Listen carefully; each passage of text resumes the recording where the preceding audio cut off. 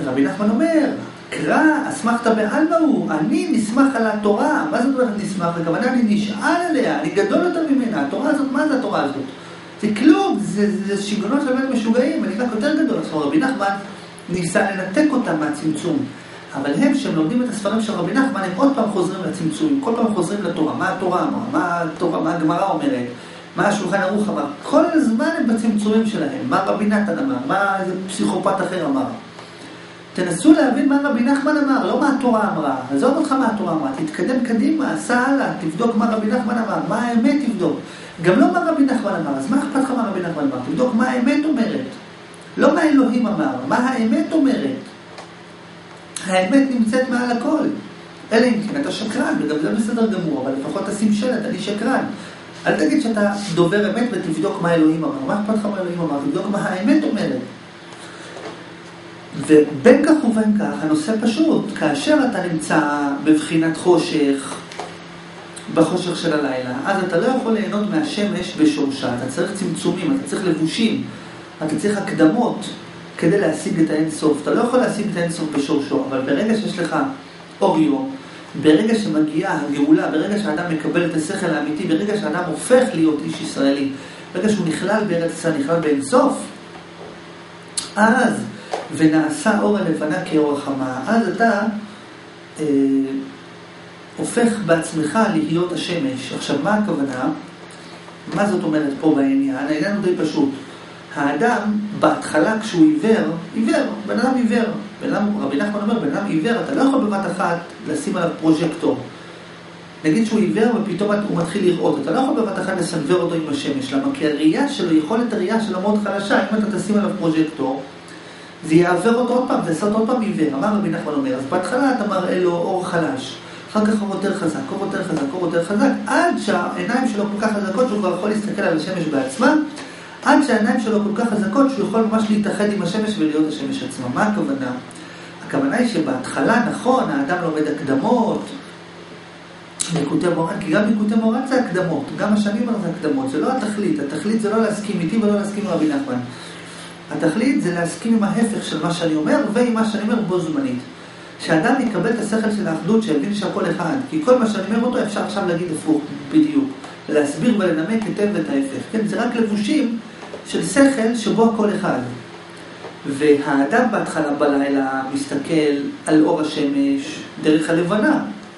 אבל אחר כך האדם צריך להיות מסוגל ליהנות מהשמש ישירות, לא דרך צמצומים. צא מהצמצומים, תפסיק להיות בצמצומים, כל מהצמצומים צמצומים.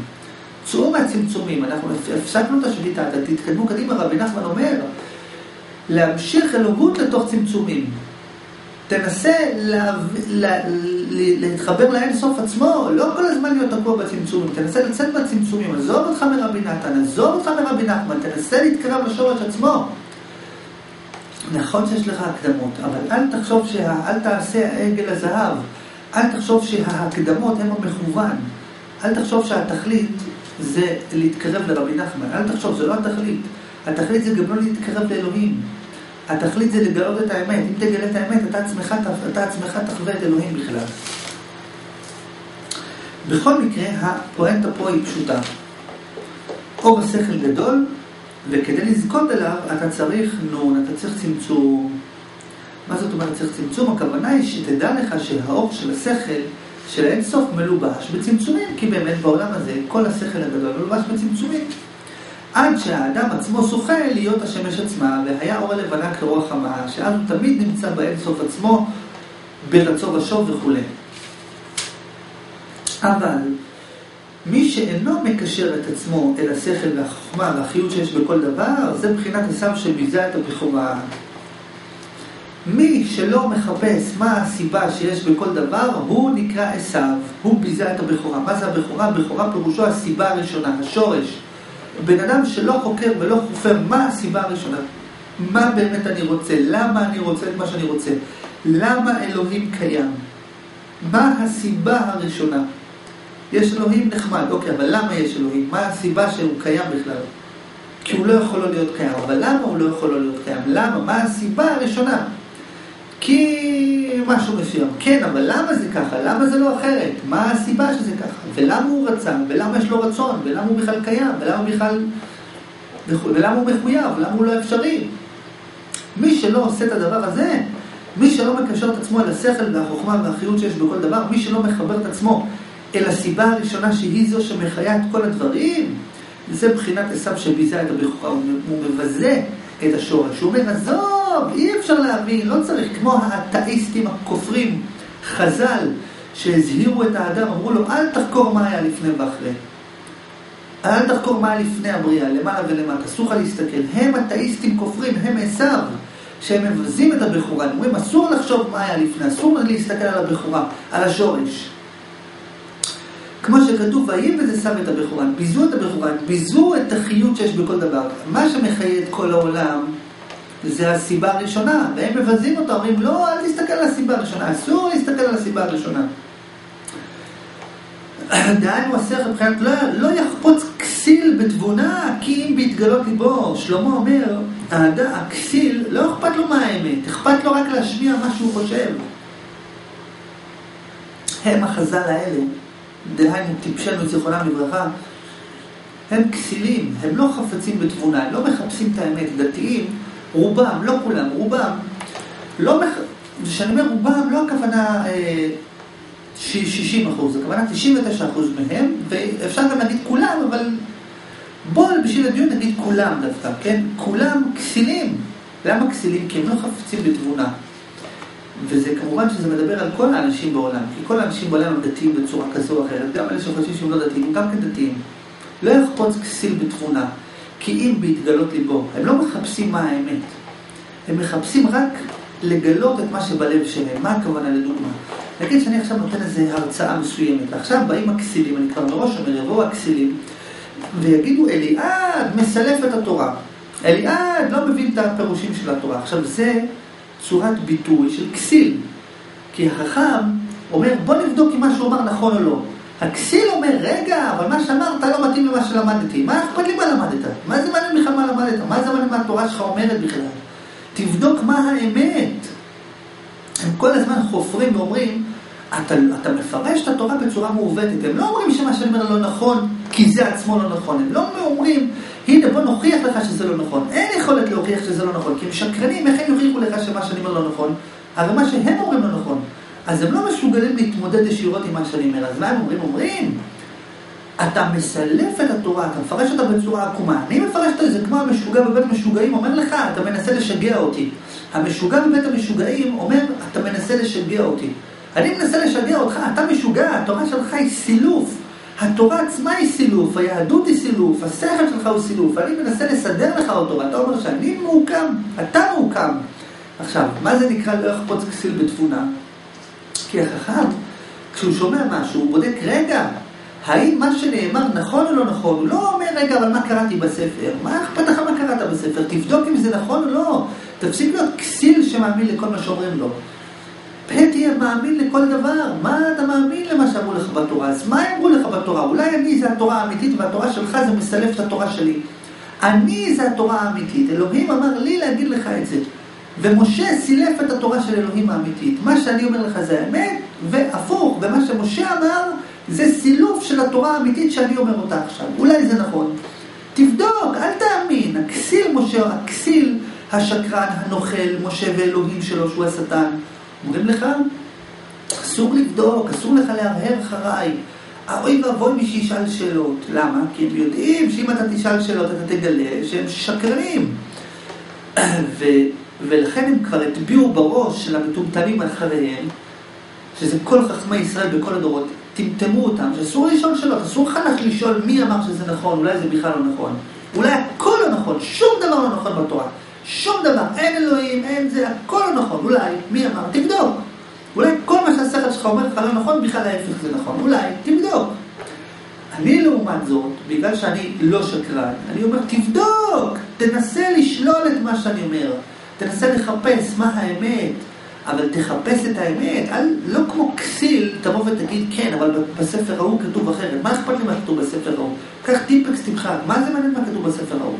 תחפש מה האמת אומרת, לא מה הספר אומר, לא מה אליעד אומר, תחפש מה האמת אומרת.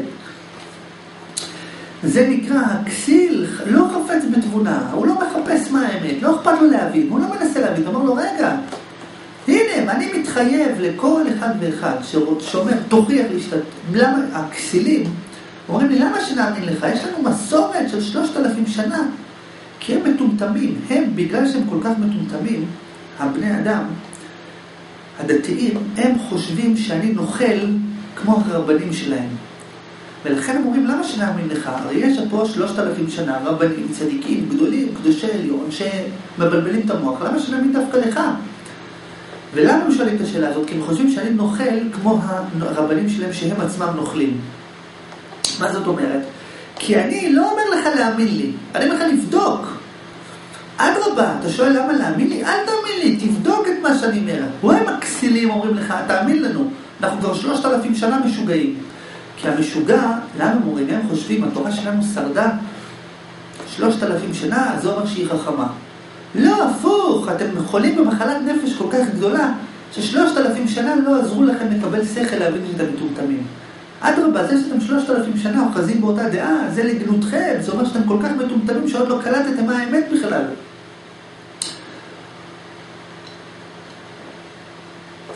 ומה אני אומר? אני אומר, תבדוק, אל תאמין לי. הכסילים אומרים, למה שנאמין לך? אל תאמין לי, תפסיק להיות מטומטם, תבדוק את מה שאומרים לך. זאת אומרת, ואיך נבדוק? אני אומר, כנס לחדר הקרוב. אני מוכן לכל אחד ואחד להפגיש אותו עם אלוהים עצמו, אלוהים עצמו, שהוא יגיד לו שאני צודק. אלוהים עצמו, אל תאמין לי, אני אפגיש אותך עם אלוהים, שהוא יגיד לך שאני צודק. עכשיו, מי אמר שזה אלוהים? מאוד פשוט, שתפגוש אותו, אתה תדע שהוא אלוהים. לא תוכל לפקפק בכך שהוא אלוהים. אני אפגיש אותך עם מישהו מסוים, כל אחד ואחד, אני מוכן להפגיש אותו עם אלוהים בכבודו ובעצמו, דהיינו, עם מישהו מסוים שכשתפגוש אותו אתה תדע בוודאות מוחלטת שהוא אלוהים, ואתה גם תדע בוודאות מוחלטת שהאלוהים של יהודים הוא השטן, אתה כל כך תבין שמה שההוא שתפגוש אותו, אתה כל כך תהיה בטוח שאלוהים, עד כדי כך שאתה גם תהיה בטוח שהאלוהים של היהודים הוא בכלל השטן, כן? עד כדי כך אתה תהיה בטוח, והוא עצמו יגיד לך שאני צודק.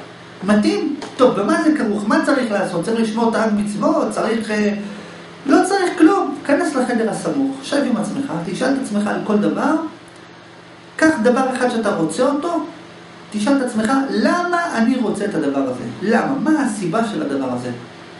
למה? מה הסיבה? למה העולם הוא כך ולא אחרת? קח שאלה אחת ותחקור אותה עד סופה. עד סופה פירושו או שתמצא את התשובה, או שתשתגע, או שתמות, או שתבין שאין תשובה. אבל מוחלט. לא שתתעייף בדרך, תילחץ. אין דבר כזה תילחץ.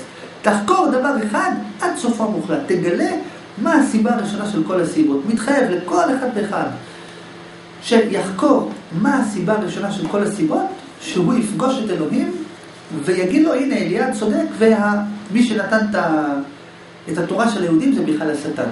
מתחייב, הנה, תבדוק, אתה לא צריך להאמין לי, תבדוק.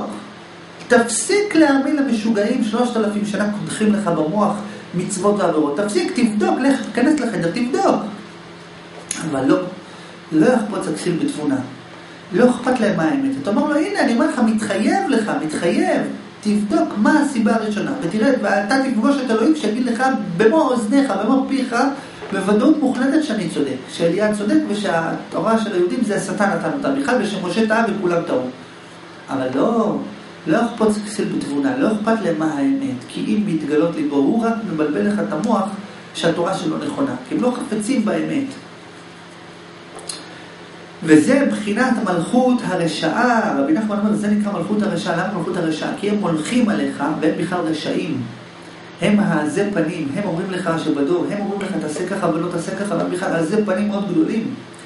בחינת לבנה דסיטרא אחרא, רבי נתן לדוגמה, זה נקרא לבנה דסיטרא אחרא. נכון שזה מבחינת לבנה, אבל זה לבנה דסיטרא אחרא, זה צמצומים, זה מוח מעוות, זה היה בחור דתי, קראו לו רבי נתן, שהוא חשב שהשיגעונות של היהדות נכונים, ואז הוא לקח את, ואז רבי נתן לקח את כל השכל של רבי נחמן, שאין לו שום קשר לדת, ליהדות בשום צורה, וסילף אותו לפי היהדות, עיקם אותו. לקח את כל השכל של רבי נחמן, שלא קשור לתורה בשום צורה, כי רבי נחמן אמר, אפילו משה עצמו לא היה יהודי, לקח את כל השכל של רבי נחמן וסילף אותו לפי השולחן ערוך, לפי ההלכות, לפי הצמצומים, לפי העבודת אלילים. זה נקרא לבנה דסדרה אחרא, שעליה נאמר וחפרה הלבנה. רבי נחמן אומר, הם צריכים להתבייש להם שהם מסלפים את האמת, שהם לוקחים את השכל של רבי נחמן, את השכל האמיתי, את אלוהים האמיתי, ומסלפים, אומרים לך, הוא אמר זה טוב וזה רע, זה סילוף האמת. כי הם לא מקשרים את עצמם אל השכל והחוכמה והחיות שיש בכל דבר.